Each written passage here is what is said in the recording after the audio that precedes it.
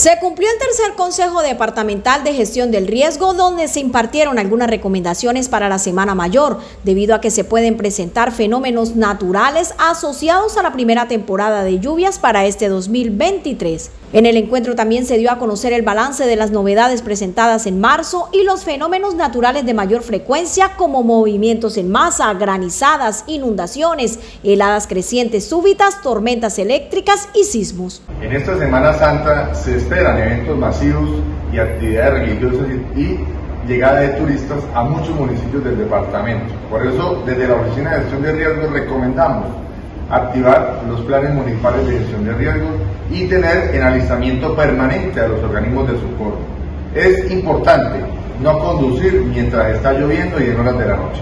No exponernos en campos abiertos mientras se presentan tormentas eléctricas. Evitar paseos de olla o, frecuentar balnearios en sitios donde históricamente se han presentado crecientes repentinas.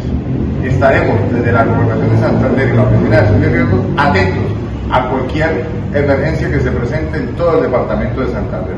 Tener en cuenta los contactos de asistencia a la línea 123 de la Policía Nacional, 119 de bomberos voluntarios, 144 de la Defensa Civil y el número celular 320-240-7259 del puesto de mando unificado.